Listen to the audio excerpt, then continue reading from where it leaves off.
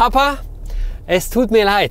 Es hat mich jahrelang getriggert. Das Problem ist, ich kann es wahrscheinlich gar nicht aufräumen. Ich kann es ein bisschen aussaugen, aber ich kann es wahrscheinlich nicht aufbereiten, weil dafür müsste das Auto ja ausgeräumt werden. Und das geht nun wirklich nicht. Einen wunderschönen guten Tag, liebe Freunde des gepflegten Motorsports. Ähm, ich begrüße Sie aus dem Fahrzeug meines Vaters. Jawohl. Und das hat einen, äh, einen Grund. Lasst es mich mal so sagen. Ähm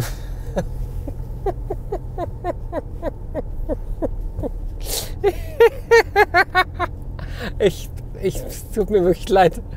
Ich musste mich so kaputt lachen, weil das Fahrzeug meines Vaters sieht aus das könnt ihr euch nicht vorstellen. Ihr kennt ja alle das Video mit dem Bentley Bentayga, ne? Er steigt jetzt aus diesem Fahrzeug in das da.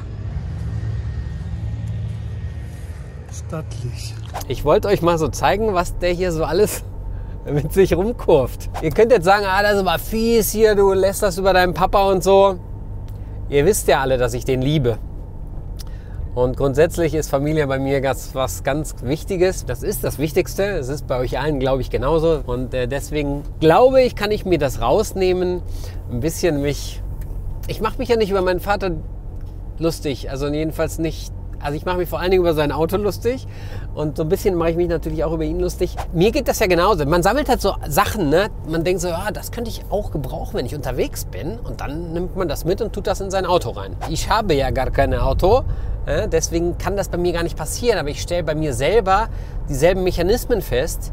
Ähm, denn ich bin auch so ein Sammler. Also wenn ich so ein Auto zwei, zwei Wochen habe oder sowas, oder meinetwegen auch mal ein bisschen länger, dann ähm, merke ich da schon bei mir auch, dass ich da so einziehe. Und dann merke ich so irgendwie, keine Ahnung, zwei Wochen nicht in den Kofferraum geguckt und dann guckst du da wieder rein und denkst dir so, ey, warte mal, es ist Sommer und ich habe immer noch den Schneefeger da hinten drin. Guckt euch das jetzt einfach mal an, genießt es und äh, seid gespannt, was sich in einem Auto alles befinden kann.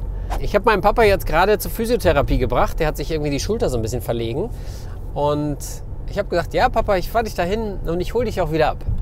Äh, 40 Minuten Therapie, 40 Minuten Zeit für uns, sein Auto mal ein bisschen genauer unter die Lupe zu nehmen. Also was krass ist, ist erstmal das Lenkrad hier ist sehr, sehr speckig geworden innerhalb der letzten 140.000 Kilometer.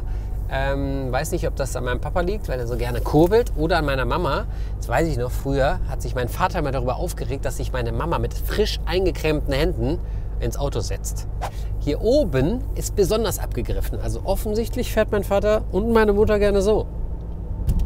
Obwohl ja eigentlich Viertel vor drei angesagt ist. Ne?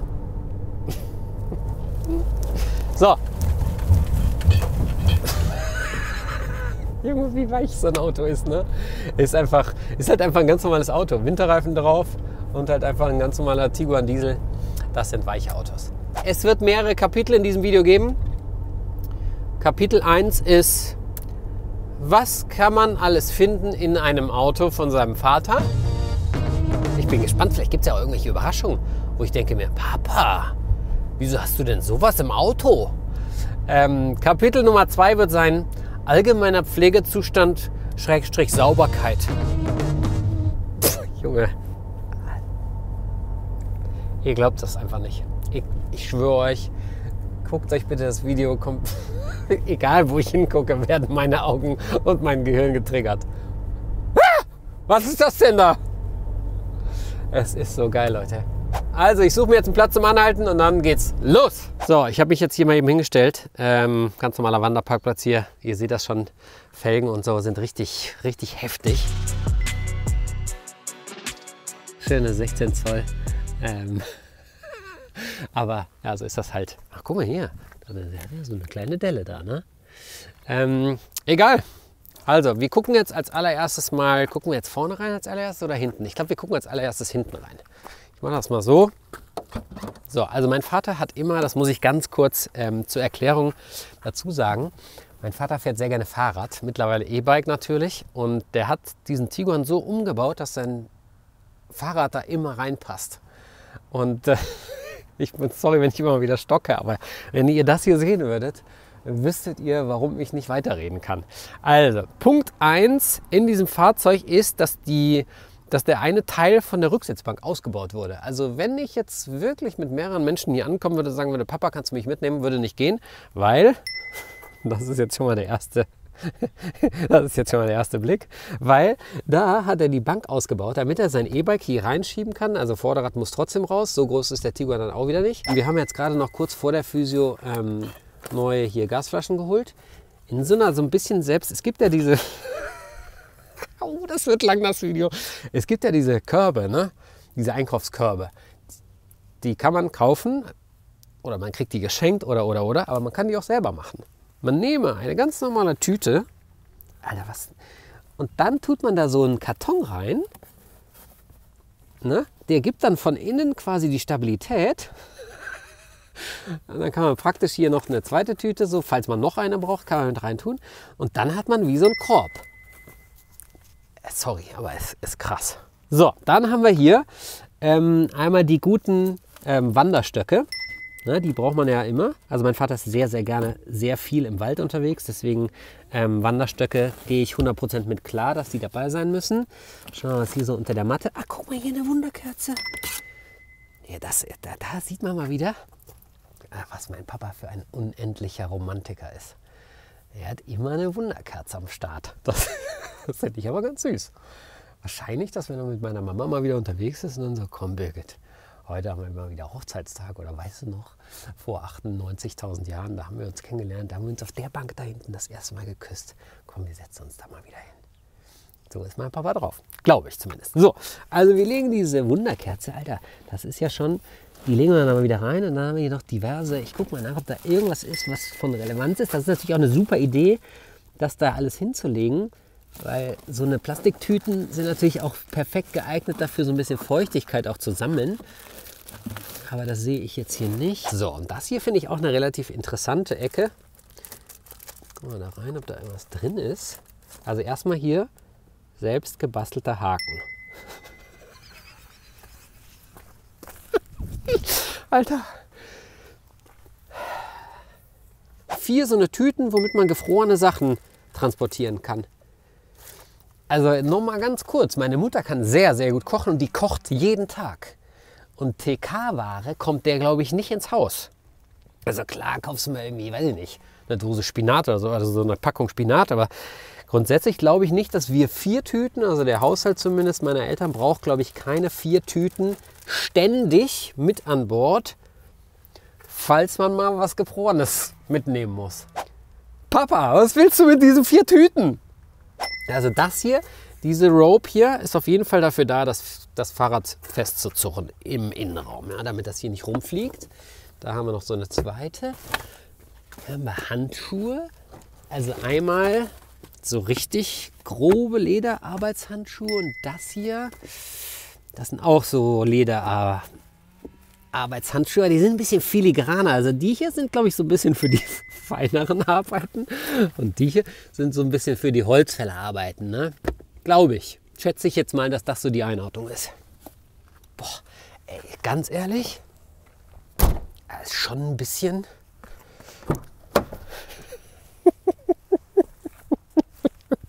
Guck da fliegt der Dieselhandschuh weg. Also, äh, Mamas Handschuhe haben wir hier, die legen wir vielleicht mal dahin. Ne? Dann haben wir eine Decke, Polstermaterial, Polstermaterial, ein Kissen, noch ein Kissen. So, dann wird es hier interessant. Da haben wir eine Zeitung, das sind die Skistöcke. Das hier ist ein weiterer Regenschirm, wenn man zu zweit unterwegs ist, logischerweise. Dann gab es hier von der Kreissparkasse Werbegeschenk. Wahrscheinlich ist das. Das ist ein Drachen. Oder? Naja, das ist ein Drachen. Mein Vater hat einen Drachen im Auto.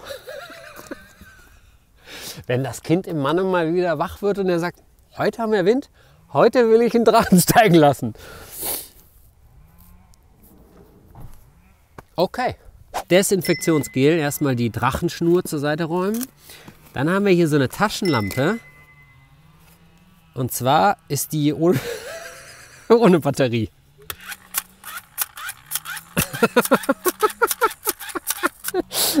Aber jetzt mal ohne Quatsch, ne? Normalerweise, Batterie ist immer leer. Immer wenn du diese Lampe brauchst. man, es könnte ja sein, dass du irgendwo in der Wildnis hängen bleibst und dann musst du vorne im Motorraum gucken. Vielleicht ist dir beim Pinkeln der Schlüssel aus der Hose gefallen. Man muss, du brauchst eine Taschenlampe. Okay, Taschenlampe haben wir an Bord. Wir haben ein bisschen Öl an Bord, das finde ich sehr, sehr gut. Dazu eine, eine Rosenschere. Wofür könnte man eine Rosenschere auf der Autobahn gebrauchen? Ich weiß es nicht. Das ist echt eine Luftpumpe, ne? Also wofür kann man damit Bälle aufpumpen? Fußbälle? Man weiß es nicht. Auf jeden Fall ist da noch eine zweite Taschenlampe drin. Und, ne, ja, das ist noch eine Taschenlampe. Das tue ich mal wieder da rein, damit das da wieder genauso reinpasst, die, die Luftpumpe. So, dann haben wir hier ein Ladegerät. Wofür ist das? Ein Ladegerät für irgendwas. Ey, keine Ahnung. Was ist das? Hat er da irgendwas gezüchtet? Ist da irgendwas drin? Es sieht aber so aus, als wenn das bald leben könnte. Also, Papa, was ist das? Da ist, da ist Wasser drin einfach in dem Dingen. Wir sind früher auch als Kinder sind wir sehr oft in der Natur unterwegs gewesen und dann haben wir uns immer an irgendeiner Quelle haben wir angehalten und haben uns da Wasser geholt. Was ich mega finde. Aber es ist jetzt, glaube ich, schon die dritte leere Wasserflasche. Zumindest die ich jetzt im Kopf habe, die ich schon gesehen habe. Okay, also wir fassen nochmal zusammen. Drachen und alles andere, was man noch gebrauchen könnte. Warnweste. Hier nochmal so Papier, so zum Abtupfen von irgendwas. Dann gibt es hier wahrscheinlich einen Weinprospekt. Nee, Matthäus Passion. Mein Vater ist ja Musiker, Kantorei Barmen, Gemarke. Okay, so Flyer, die verteilt man dann immer ganz gerne. Hier ist die Tankecke. Mein Vater wird ausrasten, wenn er sieht, dass ich das alles wieder falsch reingelegt habe. Hier, der Handschuh. Matthias, der muss da rein. Sonst ist das doch nicht, sonst fliegt der doch weg. Alter, das wird ein, das wird ein 20 Minuten Video. Ah, Handschuhe. Oh, oh. Handschuhe. Noch mehr Handschuhe, also aber ein anderer Handschuh. Ey, Regenhaube. Jetzt pass auf, das hier ist auch ein Messer, oder? Ja. also er hat zwei Schweizer Messer in seinem Auto. Man, wer, wer, weiß, wann man das mal brauchen kann, ne? Ähm, das ist das dritte Paar Arbeitshandschuhe, was ich gefunden habe. Ja, gut, dann würde ich sagen, haben wir den Kofferraum und die hintere Bank haben wir durch. Damit kommen wir jetzt zur vorderen. Und das ist wirklich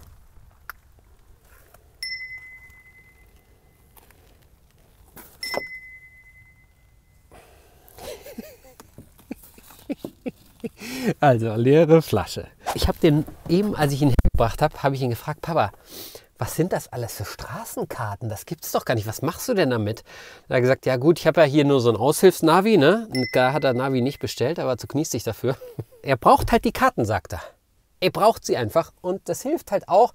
Zum Beispiel, wenn man in Würzburg ist und auf der A3 ist, dann gibt es da so eine, so eine Abkürzung.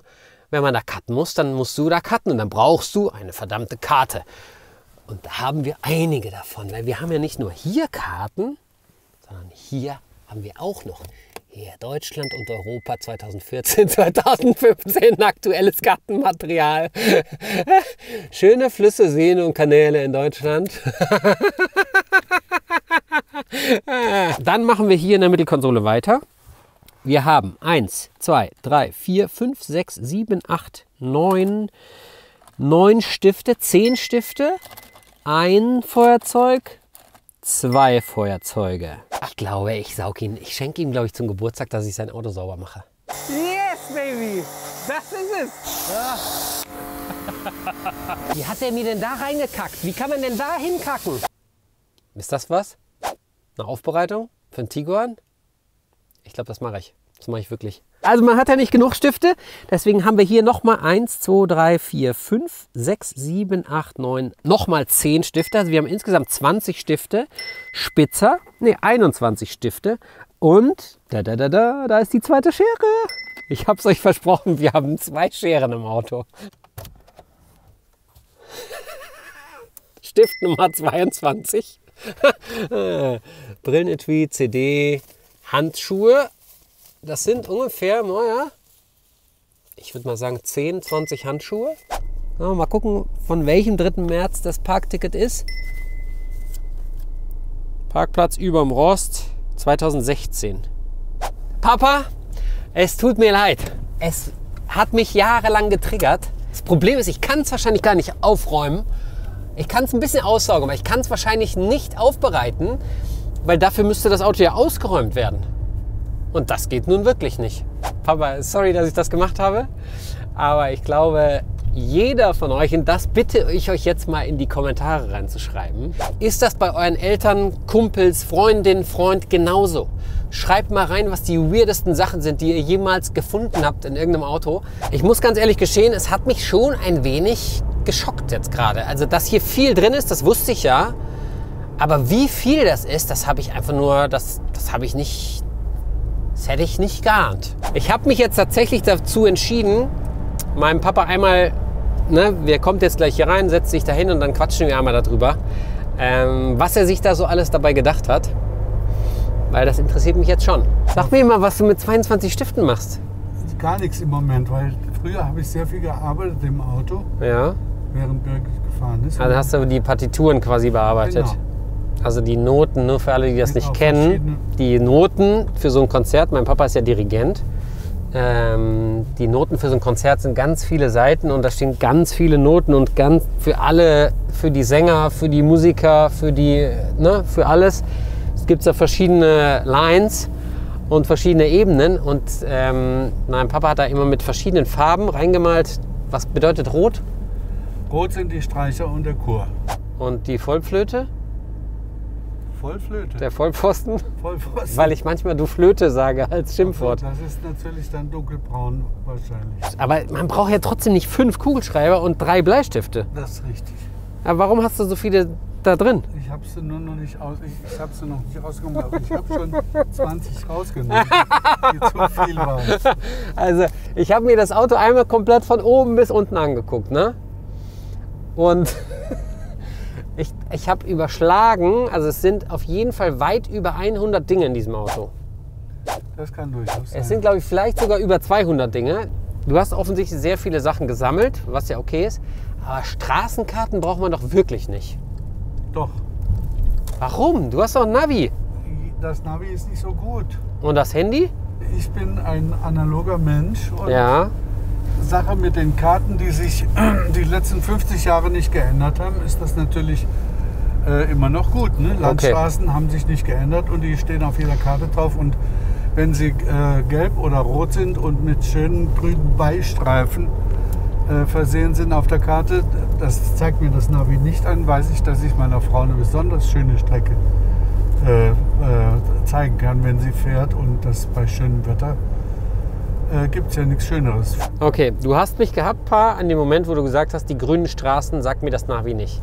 Weil grüne Straße auf so einer Landkarte bedeutet Scenic Route, würde man auf Englisch sagen. Das ist einfach eine schöne Straße, schöne Schöne Kurven. Ja. Lieben wir zwei und ihr liebt schöne Kurven auch. Deswegen Straßenkarte, ich werde nie wieder irgendwas gegen eine Straßenkarte sagen in deinem Auto. Versprochen. Schön. Wogegen ich allerdings schon was sagen muss, und das ist jetzt das allerletzte, worüber ich mit dir lästern muss. Hier, guck mal.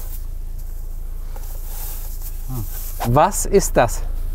Ich ziehe manchmal äh, Pflanzen, zum Beispiel Basilikum mit Wurzeln und wenn ich die äh, jemandem verschenke äh, und die im Auto 200 Kilometer transportiert werden müssen, gehen die ja vielleicht kaputt. Also werden die in einer Vase, die nicht umkippen kann, auch bei Bremsmanövern oder sonst was äh, auf der Straße. Äh, und das hat irgendjemand vergessen, wahrscheinlich ich.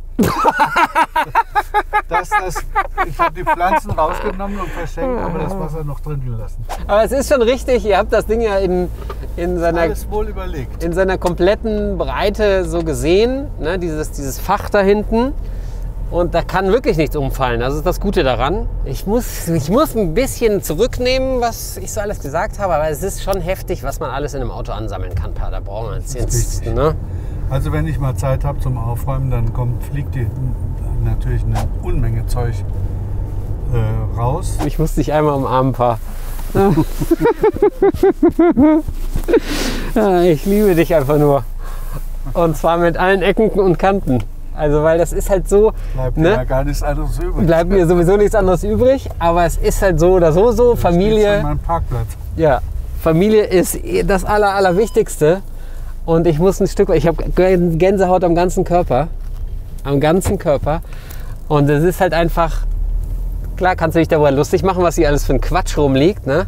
Aber letzten Endes gibt es irgendwie so eine Begründung, die, die tatsächlich plausibel ist und die Sinn macht und so. Äh, und es ist halt einfach auch liebenswert. Deswegen ja, musste ich dich jetzt einmal ganz kurz dick umarmen. Danke, Papa, dass ich mit deinem Auto fahren durfte. Sehr gerne. Ja. So, Leute. Danke fürs Zugucken.